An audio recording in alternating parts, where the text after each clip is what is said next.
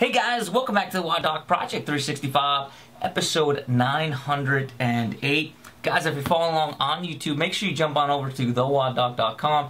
Check out all the full-length videos. That is where they'll be.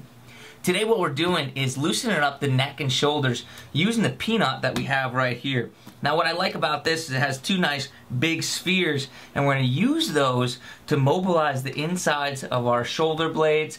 That is where all that tightness tends to collect with long periods of sitting that you might have done with hanging out during the holidays or the travel that you might have done during the holidays, okay? So this is how we're going to do it. I'll show you and uh, with this, we're going to use and roll our torso like such back and forth, mobilizing the insides of those shoulder blades. Then once we do that, we're going to do 10 rolls back and forth. Then we're going to stop and we're going to pin and stretch using, uh, again, this mobility device just to hold and push down on the tissue and then we're as we elongate our tissues with our neck. You'll see what I mean in just one second. So here's what we do we throw that sucker down on the ground like such and I'm going to try to situate my shoulder blades just so they're on the inside just so those inside borders the medial borders are kind of getting scraped by the hemispheres of the ball and I'm going to use my legs to push my torso back and forth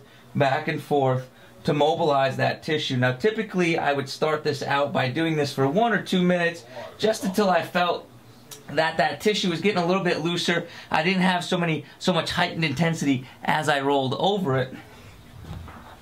Then what I would end up doing here, if I can get on this sucker correctly, then what I'd end up doing here is I'd stop at a point of heightened intensity and I would just start with 10 neck flexions, okay?